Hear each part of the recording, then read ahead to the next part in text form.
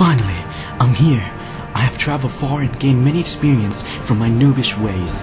All that's left is to get this last quest from the Grand Pope. My young adventurer, you have made it far. All that's left for your journey now is to strip and dance. Wait, what, sir?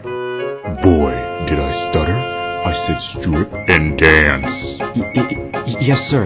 Guards, play some music for us. My pleasure, your royal pope, sir.